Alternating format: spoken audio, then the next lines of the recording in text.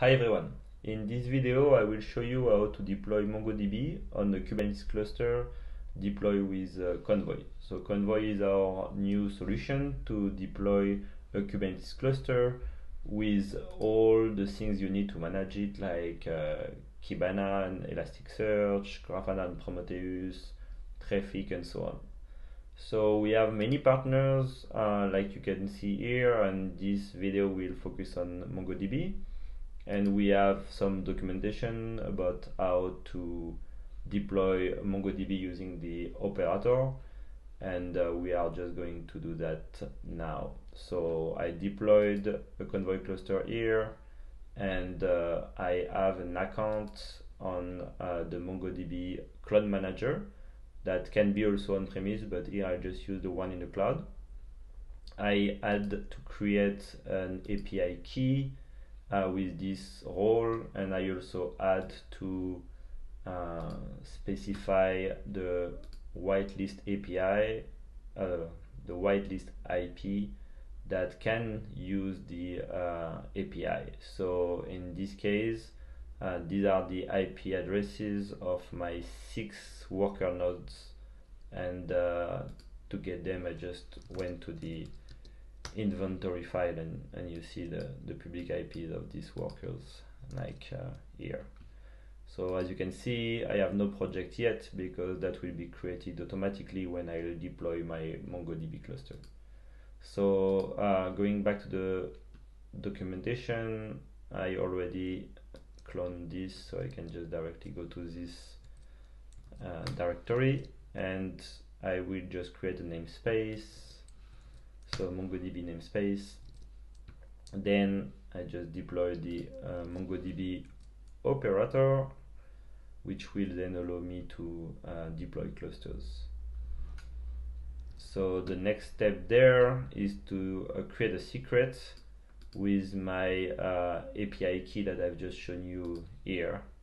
So uh, to do that, I already created a small script here. So you see this is my, my key can take a look at it because I'll de destroy it after the demo so no issue. So just creating these secrets. Then the next step is to uh, create a config map that link everything together and also shows what is the, the base URL of uh, the cloud manager. And also something that you don't see it which is the org ID and uh, the org ID you can just get it here uh, from the settings so I show you here and the config map just have my org ID here and also uh, the namespace and the project name I want to use and so on. So just create the config map is quite uh, easy. And uh, go back to the instructions. As soon as this is done I can launch a cluster. And again just have a small script here saying that I want to do uh, create a cluster with this version and it will be a replica set. And I will have three three nodes so just running that. And uh, after that you can take a look also at the operator and looking at the logs and I'll show you how to do that.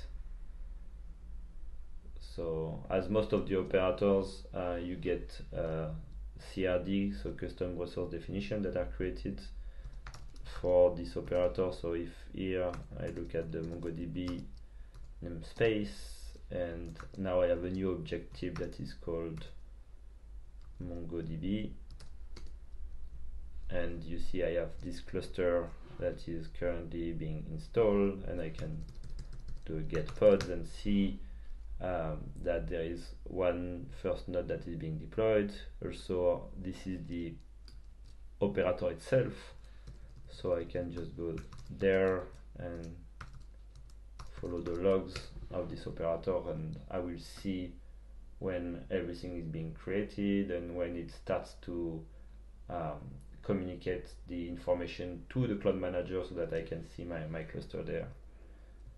So here, um, just looking at my pods, I have two of the three that are already running. So a little bit more waiting and uh, I should be able to get my three nodes running. A few more seconds. Now I can follow the logs there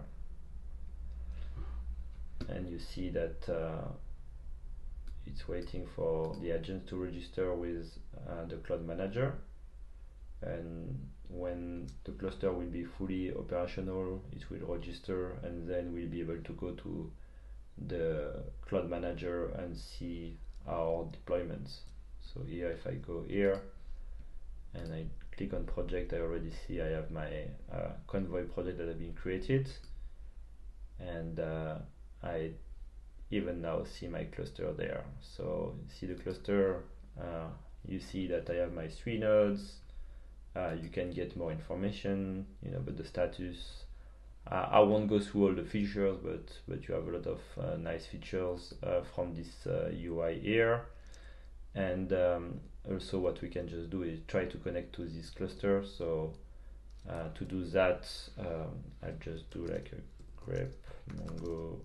I have the command here to forward the ports 2700 17 of localhost to this service, to the MongoDB service. And uh, I can use this application that is a UI for MongoDB and just check that I can connect so that everything is uh, fully operational. So I just click on connect here. You see it's localhost because I have redirected uh, using the port forward option and you can see here I have like uh, access now to my uh, MongoDB server and you know I can just operate this server like I would operate any uh, MongoDB cluster. So thanks for watching this video. Hope it was uh, useful. And as you can see uh, in a few minutes you get your uh, MongoDB cluster operational on Kubernetes uh, and this Kubernetes we deployed it with Konvoy and it also took like a few minutes so you can get from zero to hero in a very short amount of time. Thanks.